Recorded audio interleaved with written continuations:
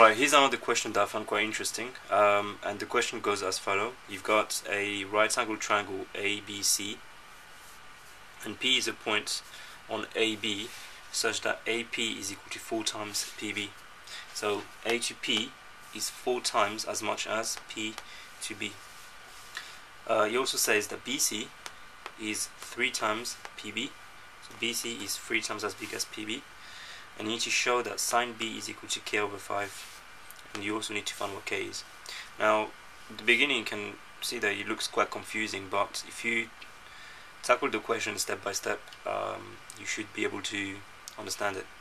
Now, whenever you have that sort of question, always use the diagram to write down what you know.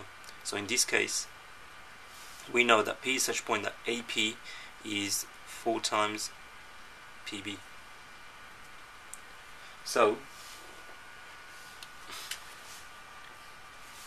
A to P is 4, uh, 4 times bigger than P to B. So, this part here is 4 times bigger than that part, so that part must be just one part. Yeah?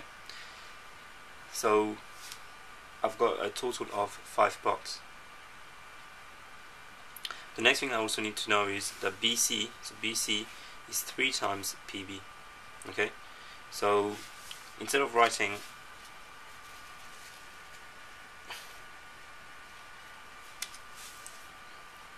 four and one, what we could do is say that this is just one x. So that side must be four x. And BC is 3 times PB, so PB is here, and I know that PB is equal to just 1x.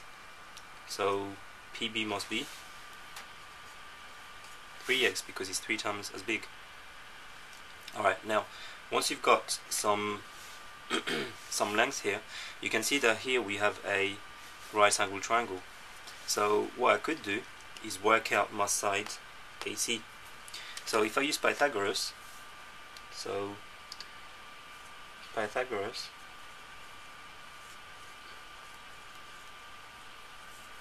I know that this is a right angle triangle so I could say that AB squared which is the hypotenuse is equal to AC squared plus BC squared.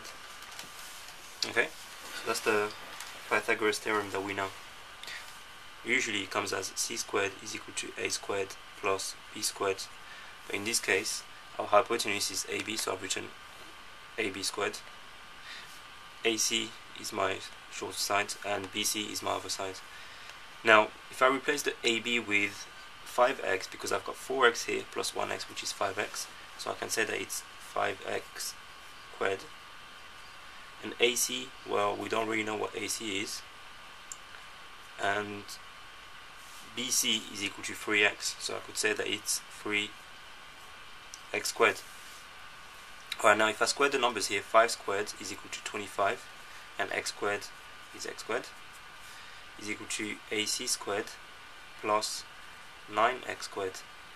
So now if I want to make AC the subject I get AC squared is equal to 25x squared minus 9x squared.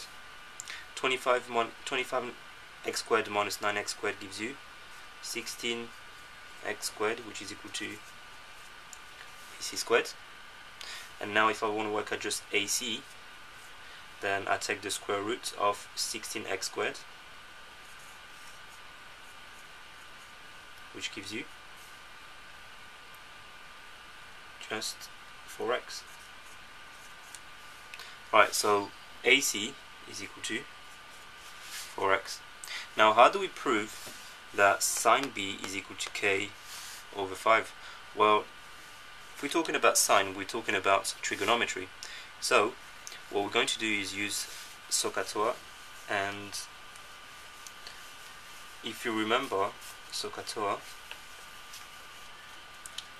so for the second part, to prove that sine b is equal to k over 5, we're going to use trigonometry.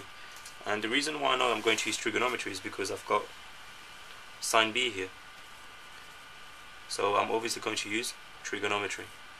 Now, if you remember SOHCAHTOA,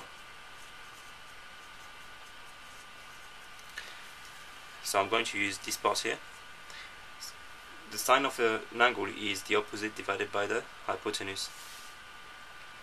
Now, here I want to prove sine B is equal to K over 5.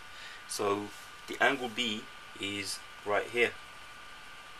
So I'm going to position myself here and my opposite side is 4x and my hypotenuse is 5x.